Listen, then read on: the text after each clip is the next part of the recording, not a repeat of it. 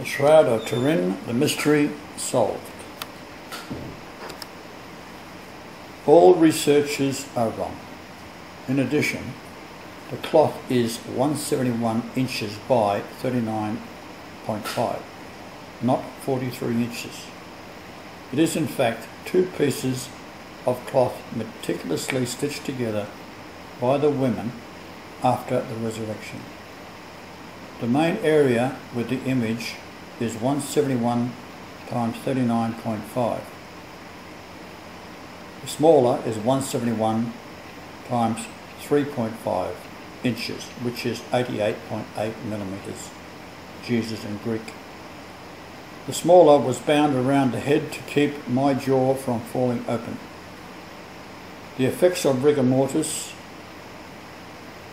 sustained while hanging on the cross wears off after a few hours. The jaw drops open. The muscles here show no sign of relaxing.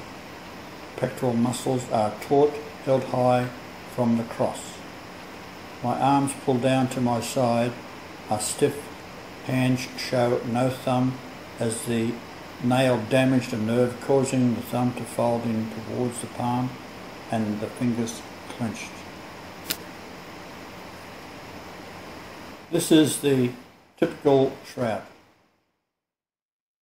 Now, the soul re-entered my body backwards, reverse as it left forward on the cross.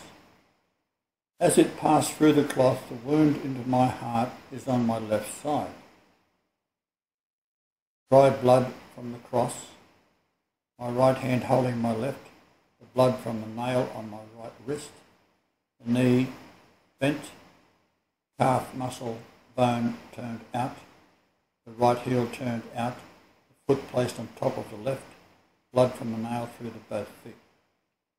So this is a typical image of the cross, except I have reversed it because the image is on the outside, not against my body. So the arms are pulled down to my side and the right hand fingers grab the left hand, the right leg still bent as the right foot was nailed after the left foot was nailed flat against the cross, the knee slightly bent. Still effects of the rigor mortis is seen. The right foot nailed through the left foot.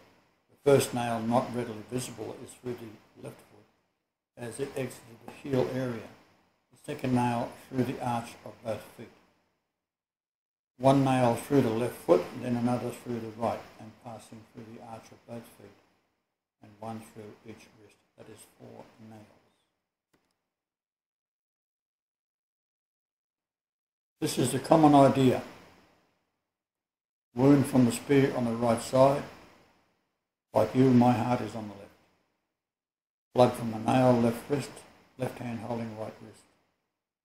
Knee left, slightly bent the left foot upon the right, blood from the nail. It's all in reverse. The jaw was held shut by a 171 inch by 3.5 inch wide cloth, later meticulously stitched to the larger. The area is the Hebrew word from the James Strong's Dictionary Concordance, 1830, 39 and 1 half inch by 171 inches is 6754.5. The 5 being Abba, in the Aramaic origin of two, the father, Abba. Hebrew 6754 is Tselem, from an unroot, unused root meaning to shade, a phantom, an illusion, resemblance, hence a representative figure, especially an idol, image, vain show, or a ghost. Image of the Father, Greek 5 is Abba.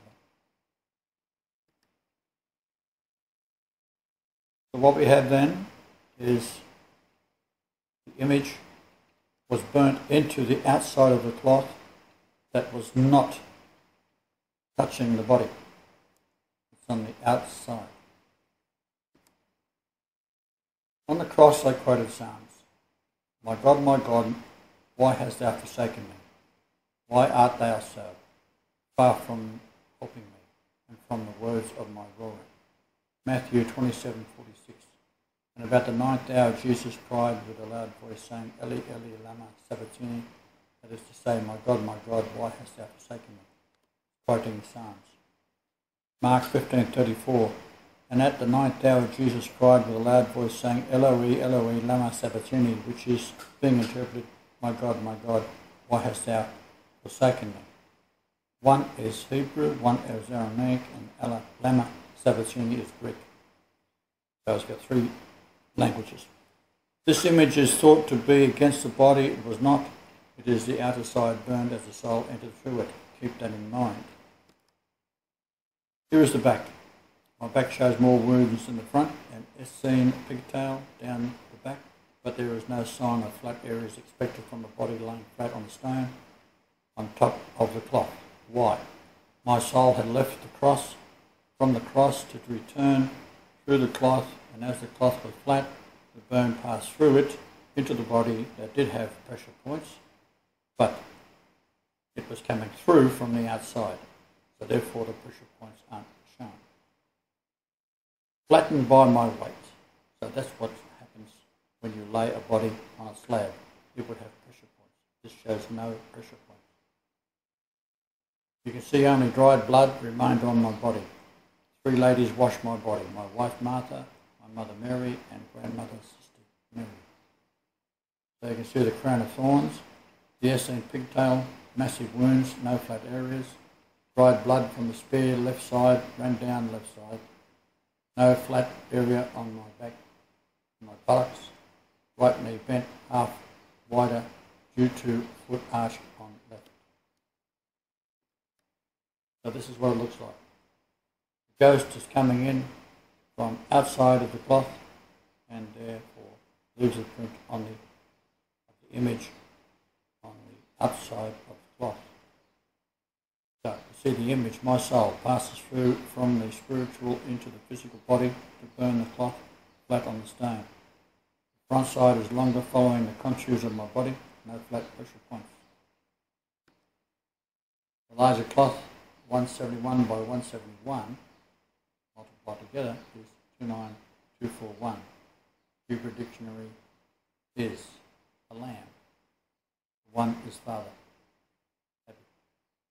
Width 39.5 by 39.5 is 1560.25. Acts 2.25. Him being delivered by the determinate counsel and foreknowledge of God ye have taken and by wicked hands have crucified and slain.